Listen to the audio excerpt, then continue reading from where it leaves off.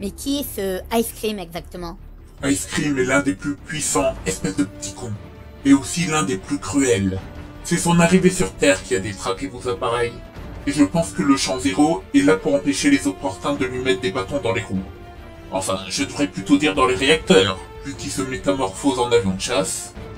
Maintenant, si vous voulez bien m'excuser, je dois réfléchir aux différents moyens que Ice Cream pourrait mettre en œuvre afin de mener son plan à exécution. Allez à l'épisode 32.